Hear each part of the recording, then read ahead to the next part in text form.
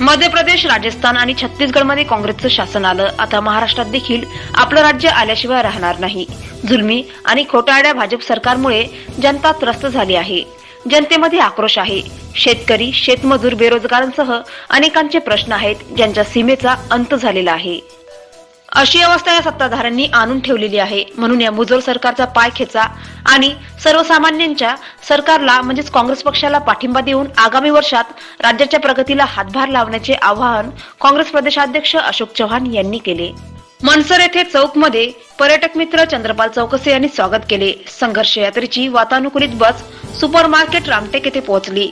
दरम्यान हजारोंच्या संख्येत कार्यकर्ता व पदाधिकाऱ्यांच्या उपस्थितीमध्ये प्रदेशाध्यक्ष अशोक चव्हाण विधानसभेचे विरोधी पक्षनेते राधाकृष्ण विखे पाटील माजी मुख्यमंत्री पृथ्वीराज चव्हाण यांच्यासह आजी माजी पदाधिकारी सहभागी झाले.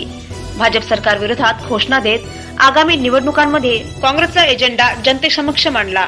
आमदार सुनील केदार माजी राज्यमंत्री राजेंद्र मुळक डॉक्टर अमोल देशमुख पर्यटक मित्र चंद्रपाल चौकशे गज्जू यादव यांनी जनसंघर्ष यात्रेचा सत्कार केला. महावाईस करता शरद नागदेवसह रुपेश वनवे रामटेक नागपूर.